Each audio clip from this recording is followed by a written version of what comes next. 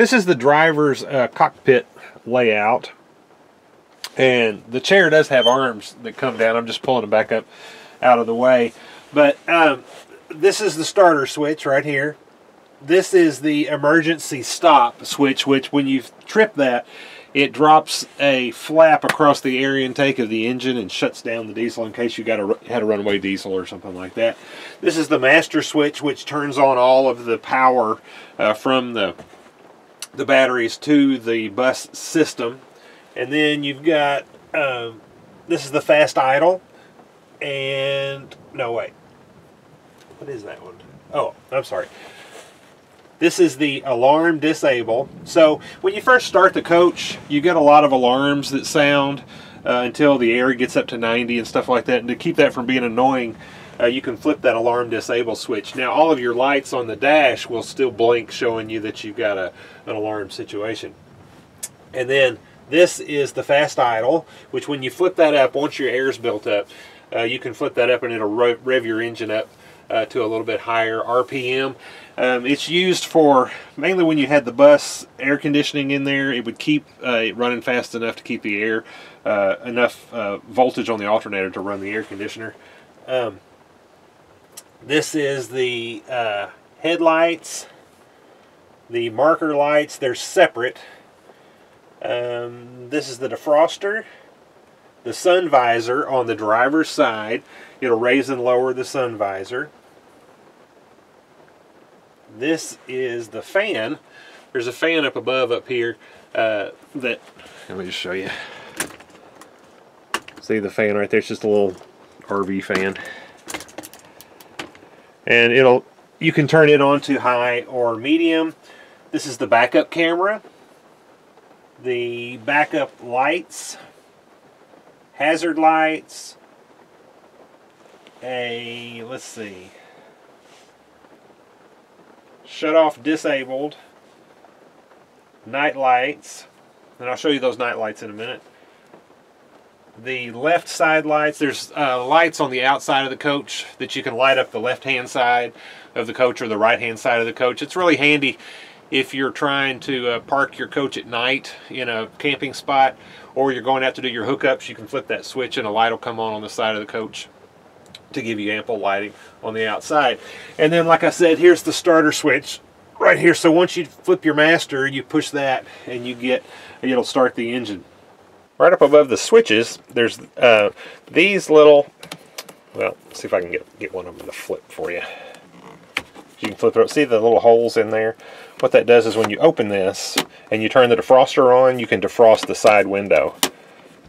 Like that, it'll let the air come up and hit that. I don't think I've ever actually used it. And then you have a little side window over here so you can pay tolls and talk to people at the window and that type of thing. Then on the dash, let me show you that a little closer. Zoom in a little bit. Okay, so on the dash across the top, you've got all your indicator lights, 24 volt generator that it's working. And any of the ones that are red, I did all them all of them red. Okay, the all right, the original indicator lights were all incandescent bulbs, which of course can fail on you. So we replaced them with uh, LEDs. So anything that lights up red is a bad thing. Anything that lights up green is a good thing. So the 24 uh, volt generator has a red light on it. It's going to come on until the air pressure builds up and gets enough uh, air pressure in the uh, arm to uh, tighten the belts, and then the generator will start, and that light will go out. Then uh, that the high beams come, comes on blue when you uh, put it on high beams. That's over here on the side. You'll change that to high beams, or down there at the. I'm sorry, it's on the foot, down in the front in the foot like a normal, well, not normal anymore, an older style car. You got a left turn signal and then a stop light for when you hit your brakes, a right turn signal, an emergency an emergency brake light that's red telling you the emergency brake emergency brake is on when you pull that, and then uh, another indicator there to show that you have your backup lights on in case you know you wouldn't want to leave your backup lights on while you're driving down the road and blind people behind you so there's just an indicator that shows you that the gauges are the oil pressure air pressure, that's for your brake systems and your all of your air systems on the bus. Your temperature, your speedometer, and your uh, fuel uh, level, diesel fuel level. And then down here are two other indicators, and that's your tag axle air, showing that you have air to uh, both of your tag axles because you can uh, turn those off and raise them up so that you put all of your uh, weight onto your drive axle in case you wanted to do that. And so there's switches in the back, and if you turn those off, that's going to indicate to you that you don't have ample pressure in your tag axles. Now down here, uh, just on the floor, is a, a knob right there for uh, your high beams. And then back here, you hit this with your heel of your foot, and that will sound the air horn. And then this right here is a switch. I mean, it's not a switch, it's a valve that allows hot water to circulate um, through the core up here for a heater um, for the for the driver and also for the defrost. Now just to the driver's right, this is the emergency brake or your parking brake. You flip this switch to engage uh, washer fluid this is your windshield wipers right and left. And this has the original air motors, the Sprague air motors uh, that run your uh, windshield wipers. And so the more you turn it, the faster they're supposed to go. Now that varies depending on what your air pressure is at the time.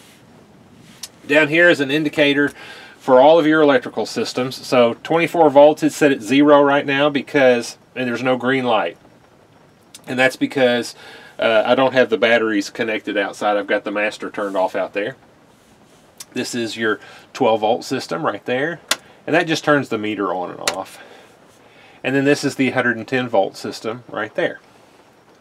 Again, and you can turn that one on and off. And then the last thing over here is this is the diesel generator. That's your hour meter of how many hours are on the diesel generator which is currently 310 hours. And then this is how you start the generator. You flip it up and hold it until it starts. If it's cold weather, you push it down and that heats the glow plug. You hold it to a count of five and then push it up. And then this switch right here turns the inverter on if you wanted your inverter on for some reason. And there, there are uh, some outlets in the front that are run by the inverter You can't run a whole lot of amperage off of it, but in, if you were wanting to run a computer or something like that, um, that it would be available for that. Okay, so one of the cool things about owning a bus is you have the handle to open the door. And when you have your air pressure up, there's a clamshell that uh, grabs the door and pulls it in tight when you're going down the road. It keeps down air noise and also is a safety feature. This is the clamshell lever right here that when you activate it, it grabs this part of the door right here and pulls it in tight and keeps it so you can't open the door. And that's controlled by this uh, little red switch right here.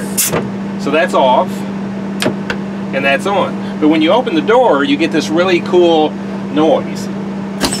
You hear it go and it makes that noise outside. All right, this is the co-pilot seat. And from the co-pilot seat, you have a couple of controls right over here. This, this controls the fan, high and low speed on your fan that'll blow on the Copilot. This is the sunshade up and down.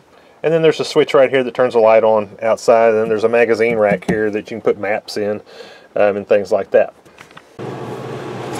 Now, the Copilot uh, does have a little rest for their feet here, and so they don't have to sit all crunched up like that. It does slide out.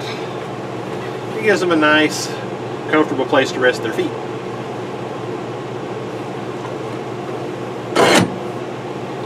Up above the co-pilot is a light that you can switch on here.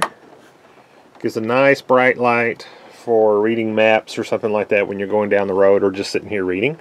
Well, I hope you're finding this uh, series interesting and you'll continue to watch all of the parts of it. And as usual, thank you for watching.